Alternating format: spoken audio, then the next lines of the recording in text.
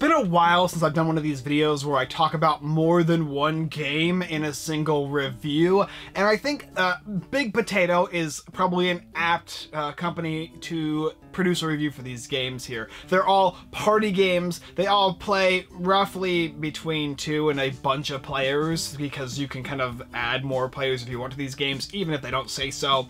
Uh, we have three games here we're going to be reviewing. The first one is uh, Big Potatoes Pizza. We have the MTV music throwback game, and then we've also got Office Space, the game. Office Space, the popular movie in which well, you saw disgruntled employees at an office having to deal with office-like things. It's a wonderful movie back in, I think, the early 2000s, no, late 1990s, one of the two.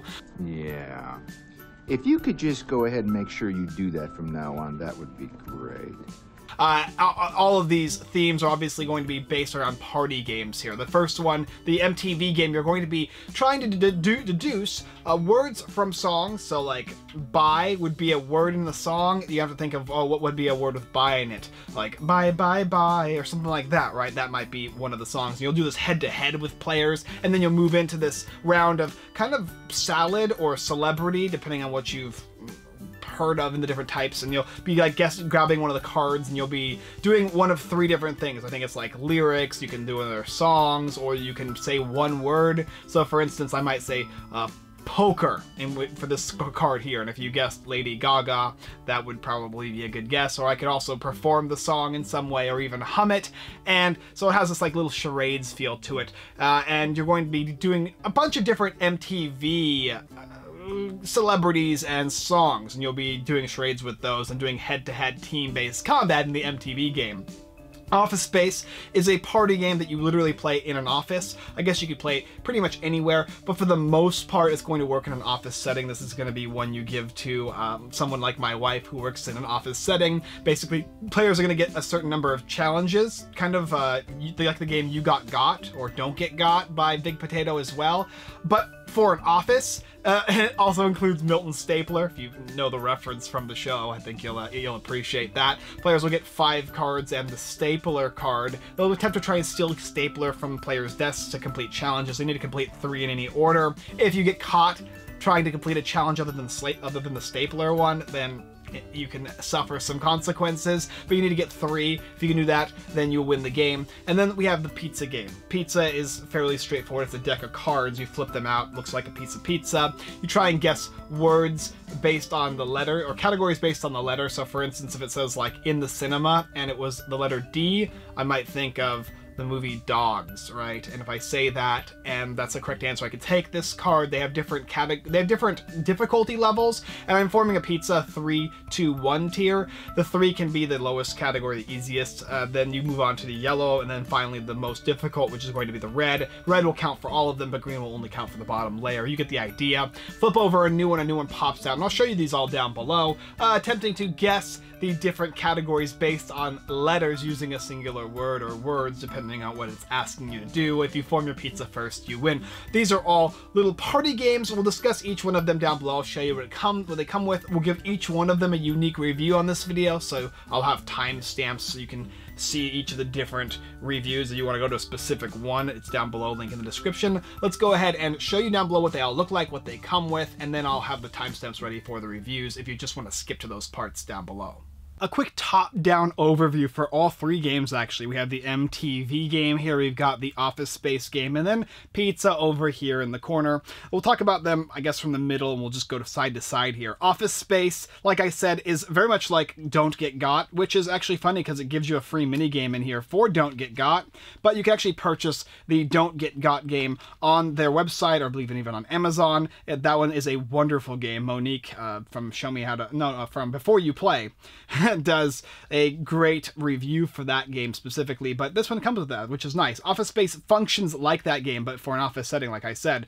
Everybody's going to get one of these Office Space red cards. They basically say you need to steal the stapler from the person that has it. It's very straightforward. These are all challenges, right? And everybody's going to get five of these guys secretly uh, face down so nobody else knows what they are. Now, they could be something like hide this card under a player's chair and get them to find it. Or it could be something like get a player to bring bring you a hot drink, or hide this card in the printer and get a player to find it. So there's multiple different challenges that you are going to be doing at an office. Tell a player that you've got something in your eye and get them to check it. Uh, and if you can do these, you'll simply say, oh, I got you, I got this challenge completed, get three of them, and you win the game. It comes with a stack of playing cards, and of course these, the little mini don't get got game, and uh, the rules, along with the stapler, which actually has a little squeaker attached to it as well, which my dog loves. Over here we have the MTV game. This one here is going to come with a board, a set of head-to-head -head cards, and these artist cards, which you're going to shuffle up when when you go to deal them out, right? To begin the game, you're going to set up two teams of as many people, I suppose, as you would like, and then you're going to set up pairs. So the first pair against the two teams are going to play head-to-head. -head. You'll flip over a card, then you're going to look for, or try and say songs that have the, the word love in them. What's, what's love got to do with it? The meaning of love um, I Will Always Love You, all these songs, right? And you'll use this little timer that's going to give you a 15 seconds to guess. So you'll do, okay, what has love got to do with it? Bam, and they'll hit it, and the next player is going to go back and forth until a player can't think of a song with the word love in it, in which case that player loses. The other player will draw nine of these cards once they're in a deck, choose three of them, pass them over to the other player, they'll choose three and discard the other three. Then you'll see this board here, and the board's actually going to have these little tapes here for each side, and you're going to do this charades or salad bowl or celebrity style game in which you're going to try and say things with a, a single lyric or with uh, the performing. So there's the way you can say Cobain if you're trying to get them to think of Nirvana or money for nothing and the chips for free. So you could even say wrong lyrics to something like Dire Straits. And then you could do uh, da da da da, just like for Blink 182. And you're going to be trying to, you have 30 seconds, you'll hit this thing down for two seconds. It'll give you more time. And you can steal your opponents as well well. And you'll just kind of go back and forth between the different members of the teams uh, against duos in which whoever scores the most points at the end of the game is the winner. Moving over to here for the pizza game, this is pretty straightforward party game. It's got dexterity involved. Players are going to play competitively, free for all. You're going to shuffle this deck of cards here, and then you're going to have a deck with the words here on the top and the different uh, values, whether it be the easiest, next to easiest, and the hardest. And then, of course, every single one's going to have a back with letters on them. And what you're going to do is take three cards and put them on the sides here. Players are just going to start guessing a word with double letters, and it has I, igloo, right? Two O's. So you'll take this and you'll add it to your tableau. And then a new card's going to come out. You're going to take this and flip it, which changes the different categories.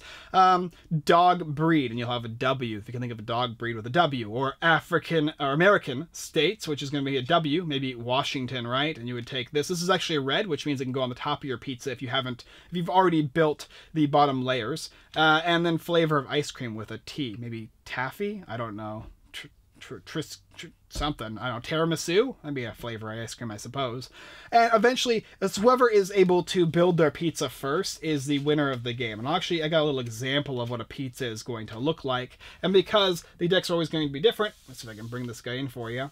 There you go. You're always going to have this little pyramid here. These can be greens, these can be yellows or greens, and this can, uh, sorry, yellows or reds, and this can be only red. If you build this pizza, before anybody else because it's a dexterity, it's a quick thinking game, you're going to win. You shuffle these guys up and deal them all out again. Obviously, as you can see, there's a ton of different categories and all the letters will be different. So you're always going to be looking at different letters and different categories. You probably will never see the same one twice in the game. That's pretty much what's included for all of them. I'll get rulebooks and boxes. Let's come up and we'll review each one of them in order from how I explain them. Three unique party games to review. They're all different in their own way and I guess we're just going to break them down. Now these are all by Pig Big Potato games. Like I said, uh, something unique with Big Potato is whenever I get boxes from them, it's always wonderful. It's always a nice surprise. I, I think I have this one here to show you guys that's kind of interesting. It's got a little pizza box and it opens up and then there's your slice of pizza very well done. They all come with like stickers and stuff too. Sometimes I get a little big potato plushie, which is super cute.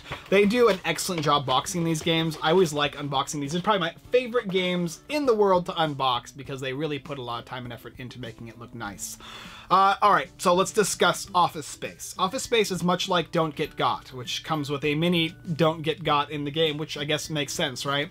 You're trying to complete challenges. Now, there already is a challenge to this game. We're, we're suffering during a pandemic right now, or we're in a pandemic right now, and because of that, it's gonna be challenging to play an office game eh, with the lack of offices available with people. Everybody's working from home, but to celebrate when you do go back to work, this would be a good game. If you have an office space like like my wife does, this would be a good game to have because everybody's got their own little rat cubicles. They're all separated in, and I'm just kidding. But you know, you know, I'm getting though. They all have their own areas, right? And they're going to have their own spaces for the stapler, right? And every there's going to be printers, there's going to be scanners and copiers, or all these things that you can utilize when playing this game. Now, I kind of knew how this game was going to function based on the fact that I played Don't Get Got, and this is similar. Playing this game at home is a little more challenging, but I think we got the gist of it nonetheless, and I think just me explaining it to you, you'll get the idea as well. The differences between the two games is obviously it's an office space setting. It has the theme of office space, and there are some cards that are like uh, the movie, give you some nostalgia. Obviously, it has the stapler. These cards specifically must require you to take the stapler from somebody, and when you get caught with a card, you lose it, except for this one here. And if you can get three challenges, you win. It's a game you can play with friends in the office as you do your work. Now, will it distract you from work? Maybe your boss might not like it, but that's why you try and hide it. The only thing they're going to see is the office space stapler, so probably will be none the wiser, right, as you're hiding a card underneath somebody's chair, right? Or if you're a boss, I suppose you can just play it with your employees and you, can't get in trouble because you are the boss. Maybe you call it a team exercise. That'd probably be something you could do. I think that'd be uh, an enjoyable. You can you can you can use it as a collaborative experience whenever new employees come and pick up office space. The game. N the next game is MTV The Awards, right? And basically this is a, game from the late '90s when I was a kid. Imagine music videos being on MTV. They don't exist now, but when they were there, it was amazing. That was probably one of my favorite uh, uh, channels to watch back then, and probably yours as well if you're my age, in the 30s. And they have eh, tons of great music videos, and this is kind of a blast from the past, and it has all my favorite categories in it. I was a big MTV buff, and so this game's going to resonate with me. If you like games like Celebrity or Salad Bowl or Charades or whatever, where you're attempting to one-word answers or act out or perform the lyrics of a song, if you like late 90s, early 90s songs, and even up to the 2000s, like it has Lady Gaga in there, you're going to dig this game. The head-to-head -head challenge is fun as well and gives you a slight advantage, but it doesn't necessarily take away anything from the game as far as your chances of winning in the second round. Basically gives you an advantage of choosing the cards you want and knowing what your opponent has and the ability to steal their cards. And so you go back and forth playing in a team manner. You could play with as many players as you'd like, and the game's always going to be different because different players are going to remember different artists with their different songs. Not everybody's going to say bye bye bye with the and and Backstreet Boys, whatever whatever one that is. And so, you know, they're going to be basically trying to perform the different songs, and so you're always going to have a different variety of songs that can come out. Uh, it's got the little timer, which is nice too, with the different settings on it. The cards are pretty straightforward, the board's pretty straightforward with its spaces. Overall, fun game. It's going to resonate with people who enjoy MTV and the music from that time. My grandfather's probably to have no idea any of these bands, and people that are probably like 19 won't have a clue, but maybe it's a good way to, to educate them about good music, right? I, I think you'd agree. And then finally we have Pizza. Pizza here. This one is a deck of cards with categories and letters, and they flip these guys over and you fight to the death and you're just guessing categories. My cousin hates this game. Uh, I think it's probably because she lost, but this is a wonderful game. I really enjoyed this one. You're flipping the cards over, you're trying to guess the categories based on the letters. The letters are always different. Even if the categories come up the same again, you're not going to have the same results or same answers. It's quick thinking, it's deductive, and people are going to be arguing. It's a lot of fun. I really enjoy it. Uh, this is probably my favorite of the three trying to think of a kitchen tool that begins with the letter Z. It's, it's, it's going to be pr pretty challenging. Sometimes the challenges don't match up with the colors, I suppose, of this game. A kitchen tool that begins with the letter uh, S as a scooper, as ice cream scoop. I don't know if it counts or not. You'll be you'll be doing that as well. Kind of like how you do with Scrabble. You'll be going, oh, is that a word? Is that actually something that is categorized in this specific category? It, it's fun. It's really enjoyable. It's really quick. Most of these games, all of these games are rather quick. One of them, the Office game you play throughout the day. I, I, I, highly recommend any of these, but they're all niche, right? If you're interested in games that involve words, if you like a, if you like Scrabble and Boggle and those type of things, but you want something that's going to be a, a little more party friendly with more players, then pizza is definitely going to be one of the p you want to pick up. Office Space is going to be very very niche. It's it's don't get got in an office and don't let your boss find out unless you are the boss, right? and then the other one, the MTV game, is probably people of my generation or mm, people of my generation educating the, the, the youth or trying to get grandma and grandpa to, to get a little more hip on the times. Solid games all around, definitely ones to consider. Let me know what you guys think down below in the comment section if something you want to pick up, which one and why. Did any of these games resonate with you? Office Space for the theme, the style of Don't Get Got, and of course the movie, MTV because of the and all the different reality TV shows that are out now, and the nostalgia of what music videos used to be in the past when it was, in my opinion, good. And then finally the pizza game. The crazy people like my wife who are very good with words and, and like to, to beat me out. Check them all out. Big Potato Games is down below. Link in the description for all these games to go ahead and pick up if you're interested in them. All great in their own unique way. Let me know.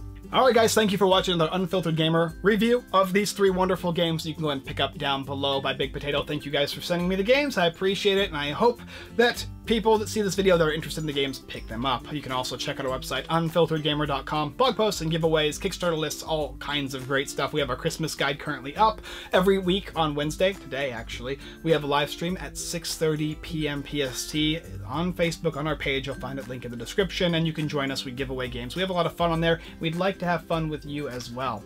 That's all I got for you this time. And as always, I look forward to seeing you guys next time.